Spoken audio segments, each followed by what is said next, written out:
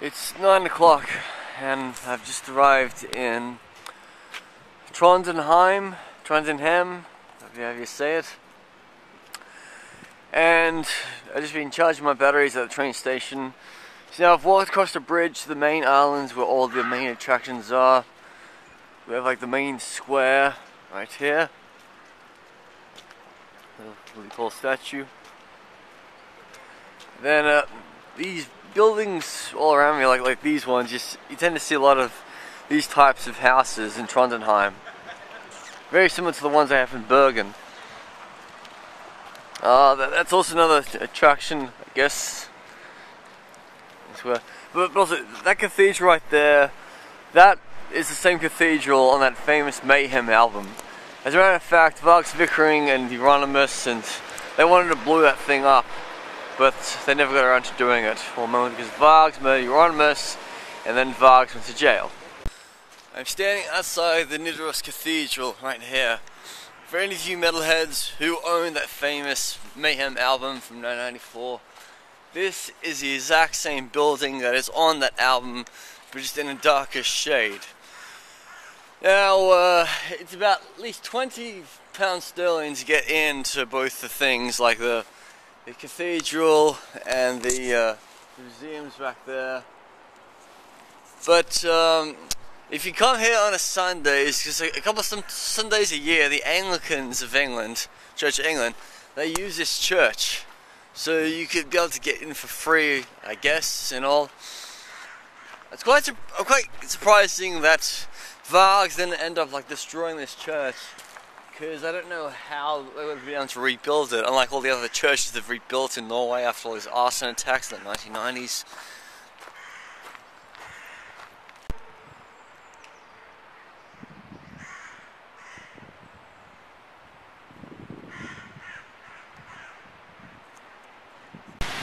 Amongst the trees of Trondheim, up on a hill, across the famous bridge, you can see the famous Gothic cathedral.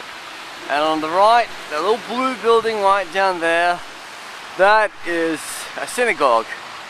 And the Trondheim Synagogue is the most northern synagogue in Europe, but the one in Alaska takes the title for being the world's most northern synagogue. So, not bad at being number two. Just hiking up now to Kristiansten Fortress built in the Great Fire of 1681 and it was used by the Nazis to kill the Norwegian resistance members during World War II. Here I am at the uh, Kristiansten Fortress. When you come to think about it, 77 years ago, the Third Reich flag was flying on that flagpole until the Western Allies came in and liberated Norway in 1945. Today is Monday the 20th of January 2020. I'm about to go to the Trondheim Spektrum to go see Dream Theater for the sixth time in my life. Doors are opening at 6 o'clock, but I just spent half this day since lunch in bed just resting because know, like uh, I really had like jaunts of sleep yesterday. Like I slept the, at the airport until they had to kick us up. Us up at three. Then I had to sleep on the plane. Then I slept on the train. So you know, I, I kind of miss not being able to sleep in a bed. But if you go without a bed for the night, you save money, I guess. So the Dream Theater gig right now in Trondheim, Norway. Uh, the, the set list to start the show off has just been songs off uh, the, the, new album and also a few ones off uh, Black Clouds Silver Linings, like A Nightmare to Remember, and also In the Presence of Enemies Part 1. Just getting ready to start playing Scenes from Memory Part 2 in full.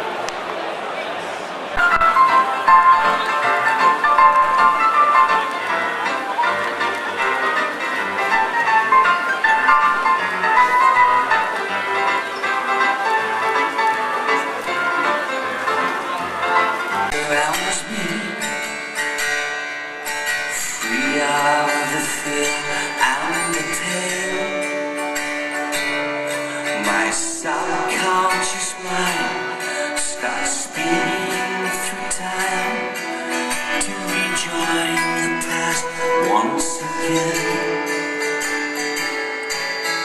Nothing seems real. I'm starting to feel lost in the gaze of a dream. As I draw near, like watching my life on a screen. Hello, Victoria.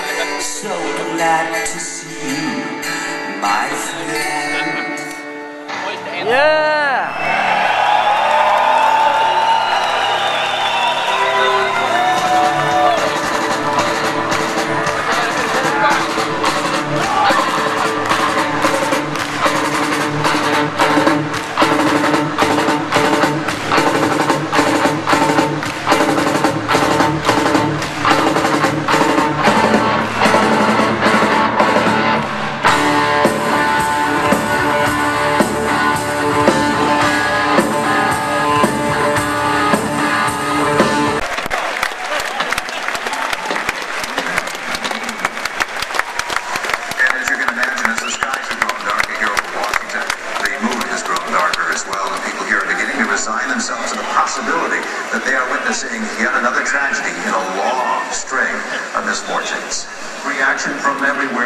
Washington and certainly from around the world, as Ken.